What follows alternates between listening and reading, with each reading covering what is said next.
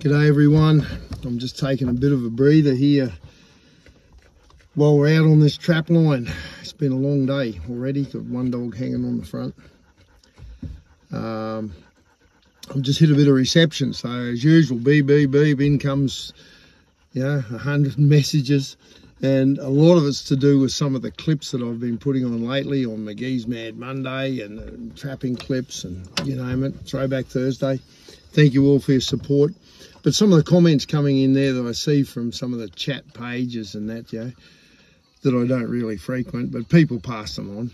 And there's guys there saying, McGhie doesn't know what he's talking about. Hunting is okay. We can, we've got permission from our landowner. Rah rah doesn't know what he's talking about. Okay, fair enough. Maybe I don't.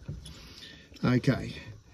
There will be people, and there's plenty of people out there that have got good relationships with their landowners. The landowner trusts them not to do something stupid and probably they haven't looked at their insurance. Okay, I'm on a landowner's property here now where he has looked at his insurance.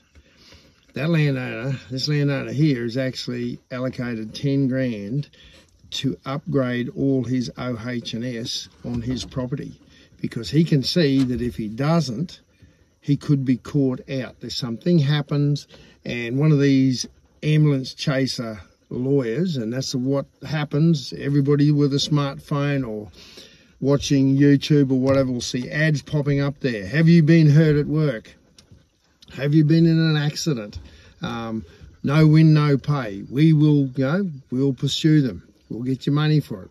So there's these these sharks, and that's what they are. These ambulance chaser lawyers who will find somebody that's been hurt.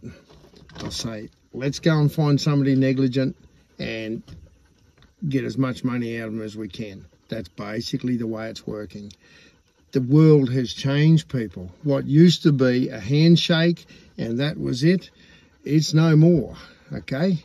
But people will continue to hunt and they'll do it under pest control and whatever.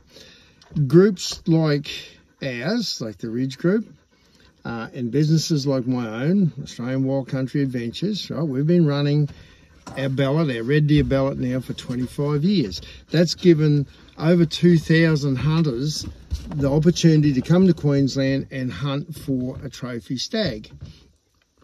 All legit, all above board, right. And it's worked very, very well. And there's dollars have flowed back to the landowners for this. So the landowners see the deer on their country as a renewable resource and they want them sustainably managed so they're there for the future. You right, dude? What's wrong? Stuck. Um, so the deer themselves are seen as an asset. Now I've had this sort of uh, conversation, argument and whatever with a lot of people from Game Council over the years, the game licensing unit. I've worked very closely with a lot of them but they they have put the value in the hunter themselves and not in the primary pro product which is the deer. Okay that's the renewable asset.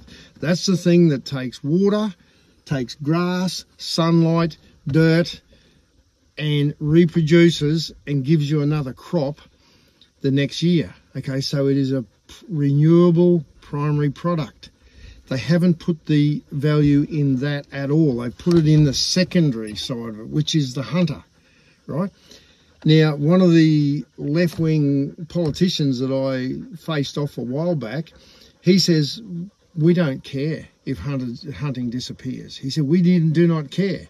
And I said, but what about all the money that it brings in? He said, we don't care. He said, you're not going to put your money under the bed. When you're not going to put it in a shoebox and put it away. We still get your money. You'll go fishing, you'll go and play golf, you'll you'll buy a new car, you'll buy a motorbike, whatever. He said that money that you spend on hunting, if you can't hunt, we'll still get it. You'll spend it on something else. Now, right, I hear people yelling out there, no, no, no, this isn't the way it works. Sorry, this is the way they see it. I'm not saying they're right, but that's the way the left, the woke mob sees it.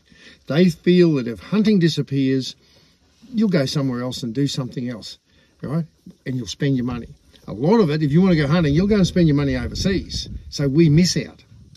Plenty of arguments, and I'm right behind people on those arguments there. I think these left-wing side people, uh, the woke mob, are crazy. Right.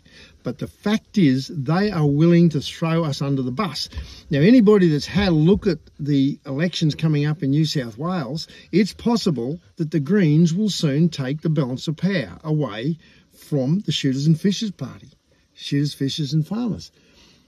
Look out. That's all I can say. Look out. If the Greens take power down there, one of the first things they say they'll do is ban hunting and fishing. Look it up yourself. This is what they are proposing. Right, so this will be the test of it. To me, we should be putting the value in the animal as something that reproduces, that takes basic air, water, dirt, grass, browse, and produces another product that we can harvest. Now, I know an old mate of mine, old Shinger, he'll be watching this, ah, don't use the word harvest. Okay, we won't use the harvest as what we do. We're hunters. But the commodity itself gives us a harvest, a harvest of fruit that we can pluck off that tree. When you get a mob of deer or, or goats, whatever, that reproduces, if you keep them at a sustainable level and you manage them properly, they give you an annual harvest that you can then take and consume. That's the essence of sustainable use management. A lot of people are forgetting that. They're not seeing it. So yeah, hunting might go on, but what you're doing is you're killing the asset. And very soon, if the deer are seen as totally worthless, the best way for a landowner to make money out of those deer then on his or her property will be to kill them all and run more sheep or cattle. Okay? Unfortunately, that is the scenario we face. Already we've got landowners in the Chital country up north who have removed tens of thousands of Chital off their properties. And all, all of a sudden they're running hundreds and hundreds more cattle. And at the price of cattle at the moment, we can't come anywhere near that. So it makes good sense to remove them. If you're a cattleman or a sheep farmer, remove them, run more stock and us as hunters are too blind, too, no, no, too pig-headed to pull up and see that this is what's facing us. So that's what I'm trying to say. I'm trying to just put the message out there. Guys and gals, if we do not start pushing sustainable use management, we're going to lose it all.